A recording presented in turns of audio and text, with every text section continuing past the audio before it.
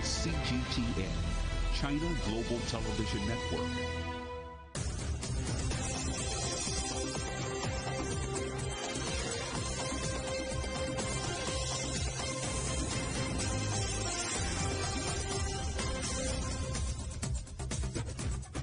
Hello and welcome to The World Today, live from CGTN in London. I'm Stephen Cole. Our top stories. High tensions and high-level talks, thorny issues on the agenda as a senior US diplomat arrives in China for the first face-to-face high-level meetings in months. Typhoon In-fa hits China's east coast just days after floods devastated the country. Gold glory as China's medal count continues to grow, claiming wins in weightlifting and synchronized diving. A mosque, a temple, and a thousand-year-old bridge, new recognition for ancient treasures as China's Quanzhou city joins the UNESCO World Heritage List.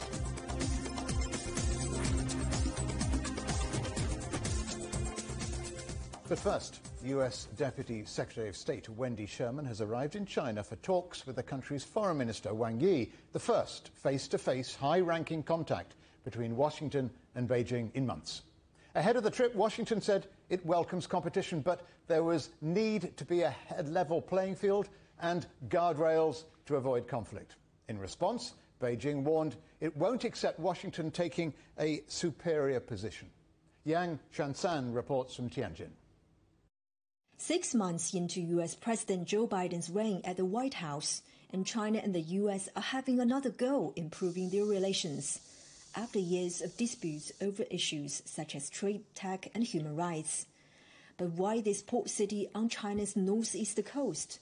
Oh, I think the the reason I, I believe is because of the pandemic. Um, we we don't have any foreign actually we don't have any uh, foreign official visit to Beijing in recent months because of the uh, need to control the pandemic.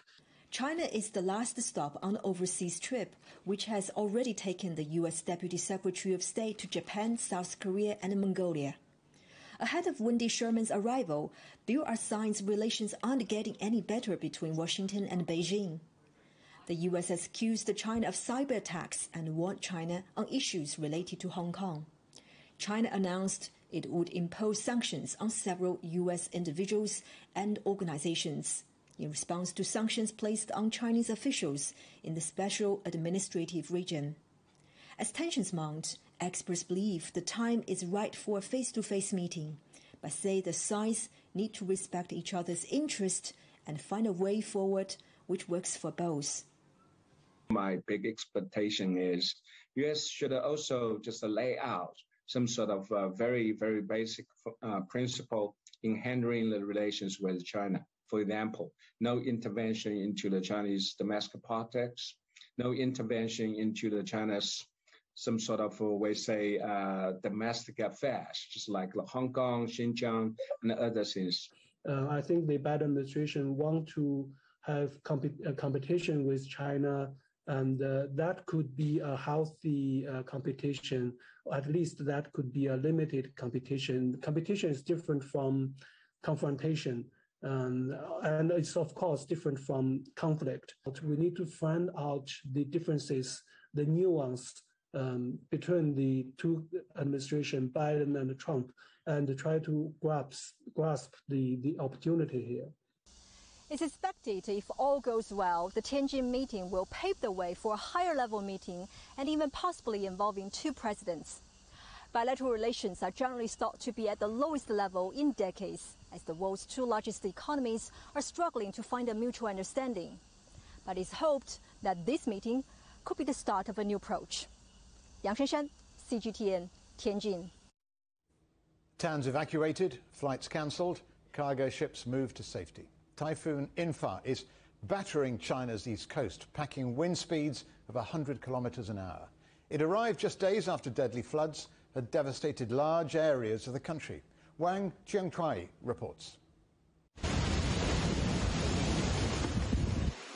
The highest level emergency response has been in place in Zhejiang province since Saturday. Authorities also issued a maximum alert for storm surges and waves at sea. Typhoon Infa hit the island city of Zhoushan at 12:30 p.m. with wind speeds of up to 135 kilometers an hour. It was forecast to sweep through multiple regions, including Shanghai and parts of Jiangsu and Anhui provinces. Shanghai and neighboring coastal regions canceled all flights. Public transport was reduced or suspended, and businesses shuttered up. In Zhejiang's Zhoushan Island, where Infa first landed, the storm blew an anchored ship away. Emergency teams rescued the 12 crew members. Villagers were evacuated. And in the provincial capital Hangzhou, floodwaters in some areas were waist deep.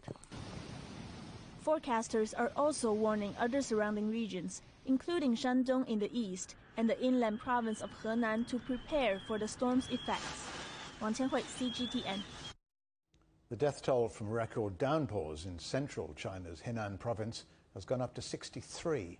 The floods have affected more than 11 million people, destroyed thousands of homes, and damaged crops. CGTN's Liu Qingqing visited a hospital in the capital, Zhengzhou. Immediately after the rain stopped, rescuers moved in to clean up. This hospital was hit hard by the downpours. Water levels on its first floor reached about two meters high. The basement and most of its supplies and equipment were not spared. Almost all large-scale medical equipment and basic medicines in the basement and on the first floor were inundated. Electricity, water, and the internet were all cut off. We could only rely on supplies and aid from the outside.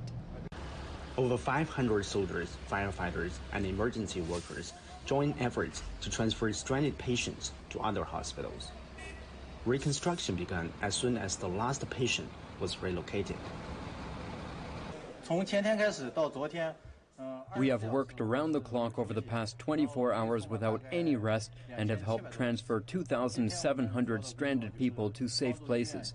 Our task today is to remove silt, drain water, and clean up medical and non-medical waste on each floor before the final round of disinfection. These rescue workers are also helping the hospital restock supplies and essentials to prepare for its reopening.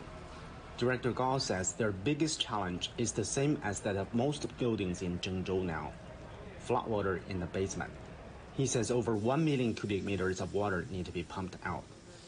It's the first crucial step to the recovery process. If water is not entirely removed, power supply cannot resume. We will start pumping out wastewater from the basement tomorrow so that we can get back electricity, water, and communication. Once we have these basic necessities again, we can start providing some emergency care services again. I expect all these preparatory tasks to be done within two weeks. For those in need of medical treatment, two weeks is a relatively long wait. A number of patients count on this hospital for daily medical care. But the rescuers, young soldiers, and firefighters say they are confident it can be done. Because to them, saving time is like saving lives, and every second counts. Liu Xinqing, CGTN, Zhengzhou, Henan Province. In Europe, parts of Belgium are recovering after heavy weekend rain resulted in more flash flooding. Torrents of water swept away cars in the streets of Dinant, catching many residents by surprise. Properties were inundated, roads, paving and vehicles destroyed, and mounds of debris left behind. The French-speaking region of Wallonia was hit hardest by the new deluge, two weeks after floods claimed 37 lives in the country. Germany had already been devastated by the worst flooding in almost 60 years when more storms arrived. Emergency units in North Rhine-Westphalia and Bavaria are on high alert with heavy rain expected to continue. But financial help is arriving from an unexpected source, as Natalie Carney reports. Another truck full of generous donations from the public for those struck by deadly floods earlier this month. Sebastian Frenkel, who lives in another part of the country, initiated a crowdfunding campaign when he heard about the devastation. He managed to raise more than 30,000 euros. We are unloading everything now. We have brought emergency power generators, construction dryers, screed dryers. We have things for the children in a different car, and we hope people will benefit from it. The full scale of the economic damage is still being assessed. Deutsche Bahn, which operates the country's train network, says rebuilding the roads and rails affected is likely to run close to 1.3 billion euros. Private businesses are also counting the costs. The rolling vineyards of the Ahr Valley were among the most seriously affected by the flooding. The area's Mayschoss Altenahr wine cooperative has over 460 members, many of whom have lost both their homes and their livelihoods in the floods. Experts are blaming on climate change. Ähm, I can't give any figures or even dimensions. In any case, it is devastatingly threatening to the existence of our business. That has to be said quite clearly. The barrels that were still in the cellar, where there was actually wine in them, are probably no longer usable. We're now trying to save what can be saved. Fingers are now being pointed and tough questions are being asked about both Germany's preparedness and emergency warning system, which many of the victims argue was in no way sufficient to protect property and save lives. First, the fire brigade came and said, please leave buildings within a distance of 50 metres from the Ahr or go into the upper levels. And then about 10 minutes later, if I'm not mistaken, there was a short siren alarm. I also briefly heard church bells. Then it was over. There was a deathly silence. It was spooky, like in a horror film. Since, the federal government has been working to ensure that horror film is never experienced again. Following much criticism, much of which has been directed towards Berlin, Interior Minister Horst Seehofer has announced the introduction of a text messaging warning system for emergencies, a service that has existed here in Germany for several decades, but has not been in use due to privacy concerns. This warning system, already in use in several other countries, will now make it possible to send out emergency SMS text messages to all mobile network users in a defined area of concern without needing to know personal phone numbers. The text alerts, once operational in the next 12 to 18 months, will supplement other methods of issuing warnings across the country, such as sirens, smartphone apps, and radio bulletins. Natalie Carney, CGTN, Munich.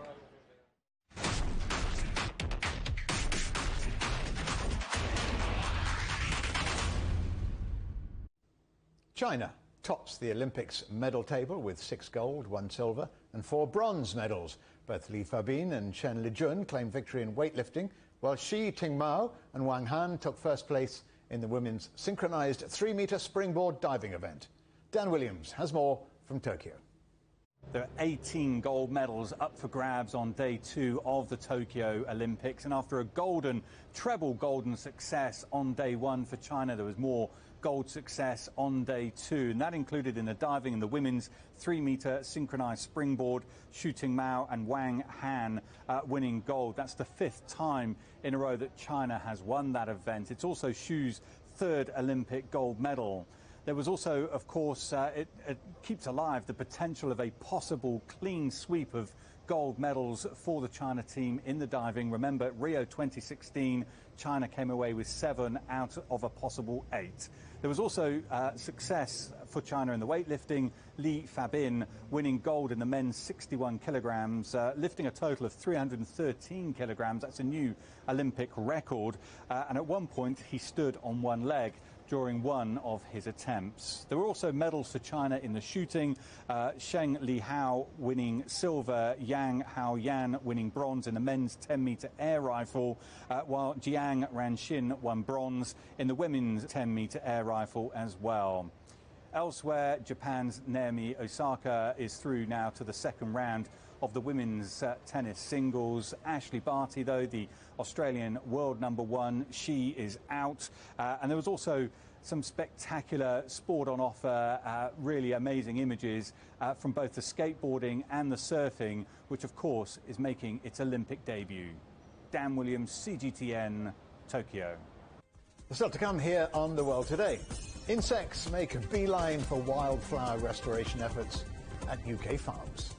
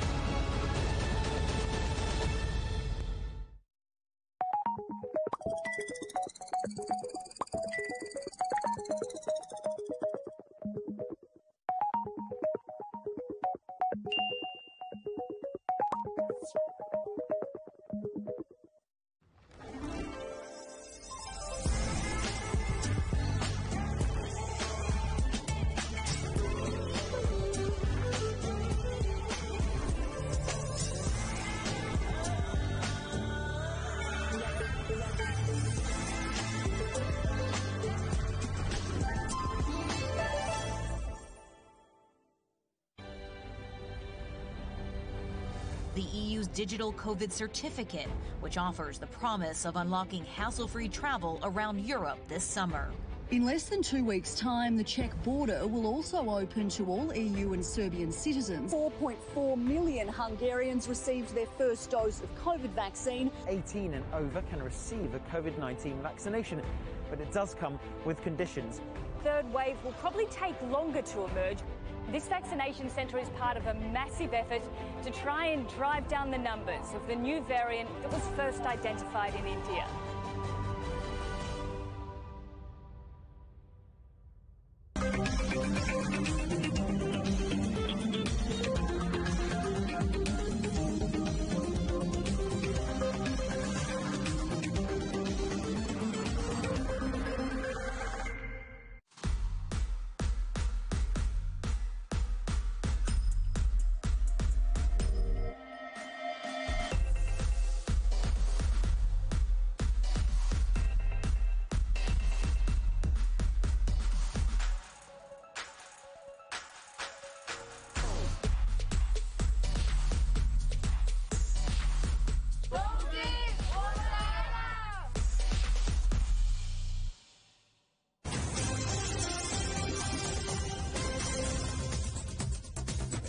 Welcome back. A reminder of our top stories.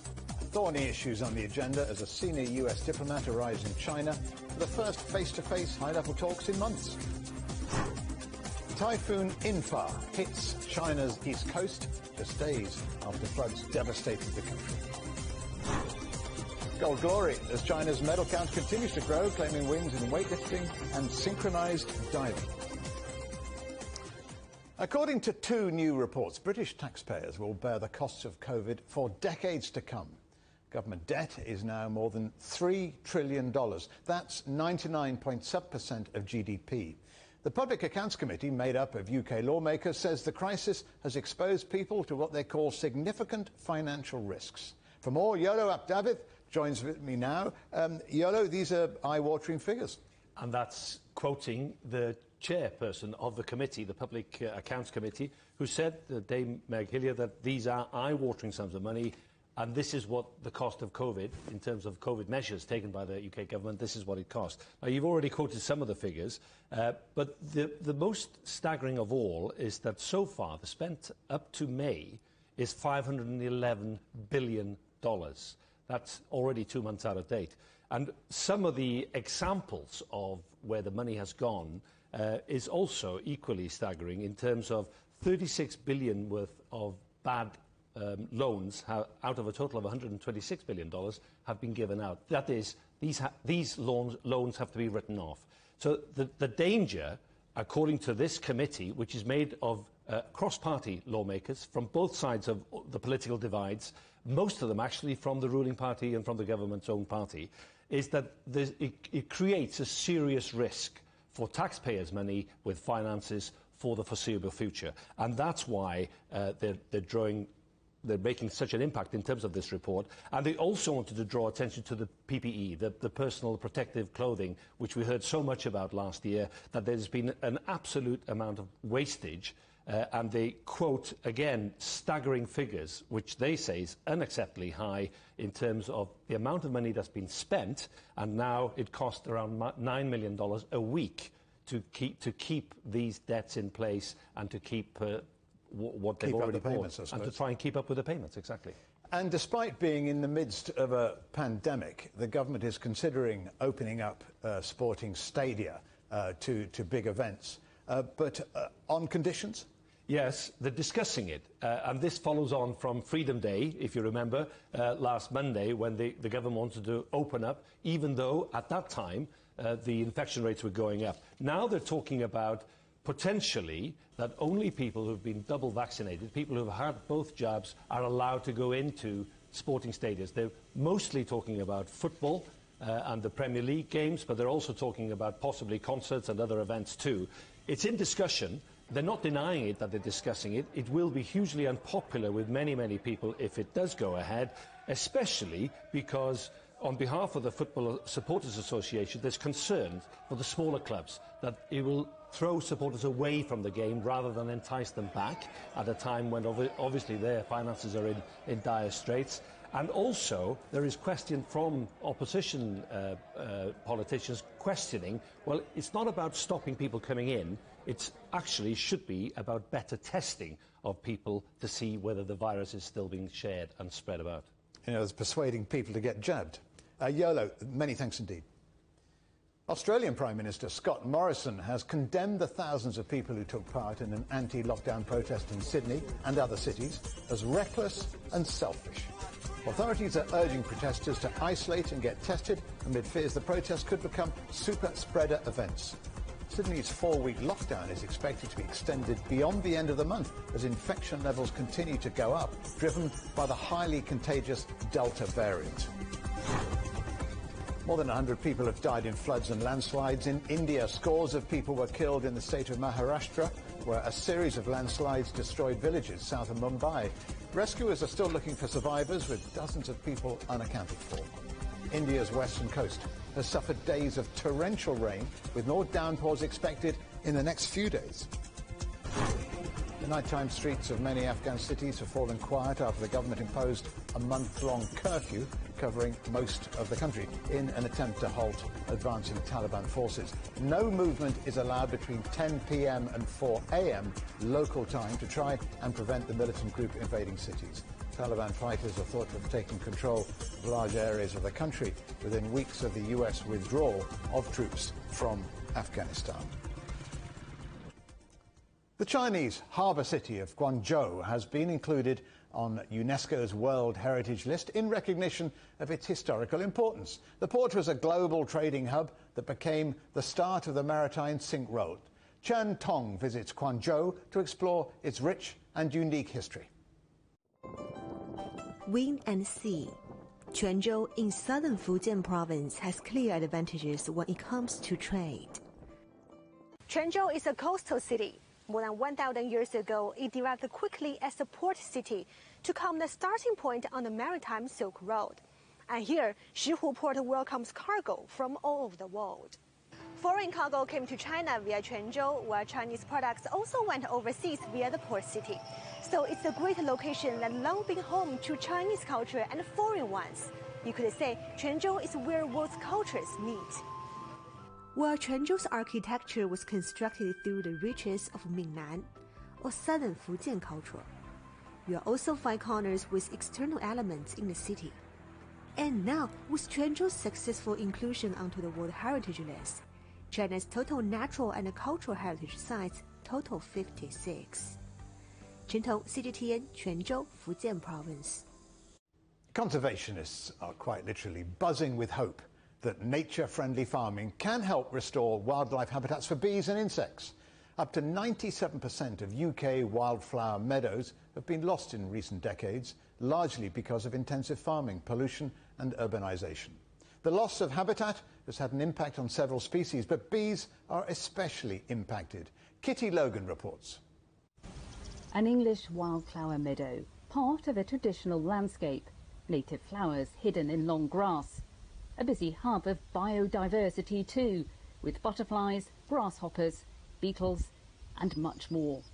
But these areas are scarce. Conservationists estimate the majority of UK wildflower meadows were lost in recent decades. The World Wildlife Fund says it's concerned. Partly because they have their own intrinsic value and are critically important for a whole range of wildlife, but also because they are a mirror on what is happening more broadly across all types of habitat and our, our mismanagement of nature. In the past, farmers were pressured to maximise production, aerial spraying this valley with pesticides. But when organic farmers took over the land, they transformed it, allowing wildflowers to evolve. The valley is now alive with oxeye daisies and lady's bedstraw, spotted moths on blue scabious flowers, and bee numbers boosted, contributing to nature's cycle.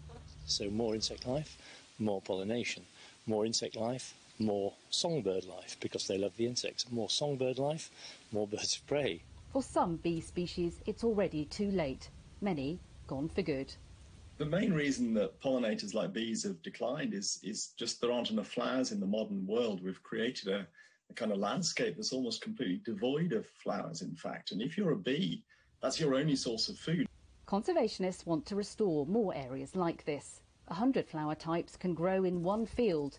The more variety, the more insects. But while many enjoy wildflowers, modern farming can be detrimental. Chemicals wiping flowers from crop fields. But those crops need insects to pollinate them too. We need to find a balance, but we've gone way too far in, in the wrong direction.